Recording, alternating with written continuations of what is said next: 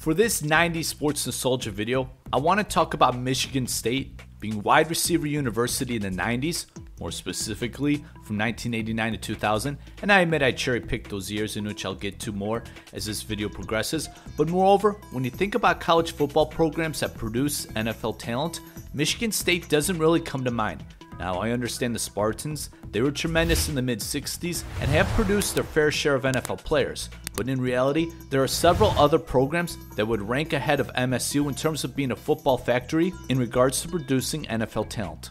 In addition, back in the 90s, the Big Ten had this perception as this physical brand of football, while teams in the South, especially Florida teams, had this perception that they had the speed, the athleticism, which makes Michigan State being wide receiver U from 1989 to 2000 pretty interesting and amazing.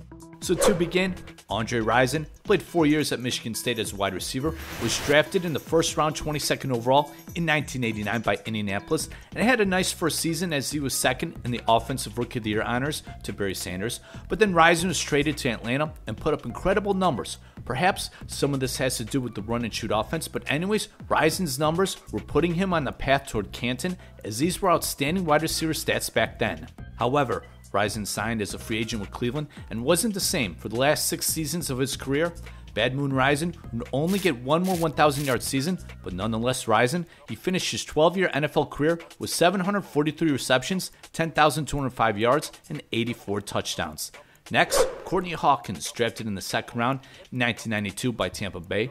The 5'9 Hawkins had a productive nine year NFL career with the Bucks and Steelers. For two seasons, Hawkins had over 60 receptions, which are good numbers back then, and had over 40 receptions three years, as these were for teams that, let's just say, weren't wide receiver friendly systems. And to 1996, where Muhsin Muhammad is drafted in the second round by Carolina. Muhammad had a productive 14 year career and perhaps deserves a spot in the Hall of Very Good. Muhammad led the NFL in receptions in 2000 with 102 receptions, and then led the NFL in 2004 in receiving yards with 1,405, and led the NFL that same year with 16 receiving touchdowns. For his career, Muhsin Muhammad recorded 860 receptions, 11,438 yards, and 62 touchdowns. Next notable former Michigan State wide receiver to mention is the very underrated Derrick Mason, who was drafted in the fourth round in 1997 by the Tennessee Oilers, who became the Tennessee Titans two years later. But anyways, Derrick Mason, you could also say deserves a spot in the Hall of Very Good, but during his first three years, Mason only started two games and wasn't getting a lot of targets, but was returning some punts and kicks.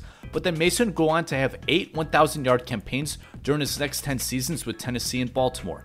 During his 15 year NFL career, Mason would total 943 receptions, 12,061 yards, and 66 touchdowns. Lastly, there's Plaxico Burress, drafted in the first round, 8th overall by the Steelers in 2000. Burress, who may be the most well-known wide receiver on this list, was 6 foot 5 with big playability. During his first nine seasons, Burress recorded four 1,000 yard seasons, was 12 yards away from a fifth 1,000 yard season.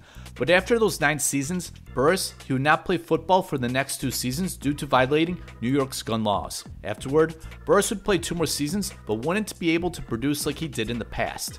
Plaxico Burress ended his career with 553 receptions, 8,499 yards, and 64 touchdowns.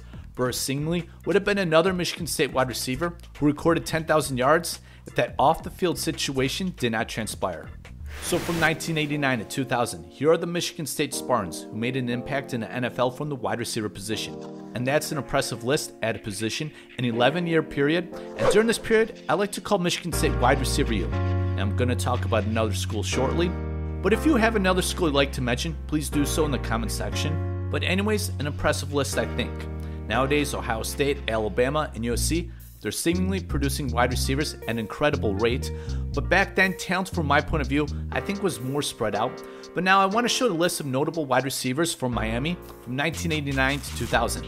Now, some might say that Michigan State also had Mark Ingram and Charles Rogers, who was so incredibly talented. But if I included those two former MSU greats, then I would have to include the years 1987 to 2003. And now you take a look at those names, of those wide receivers from Michigan State and the wide receivers from Miami. But if you look at these lists, I think most people would say that Miami would have the edge. So, admittedly, I cherry picked the years because to me, it's impressive, interesting, and surprising that perhaps Michigan State could be labeled as wide receiver U from 1989 to 2000.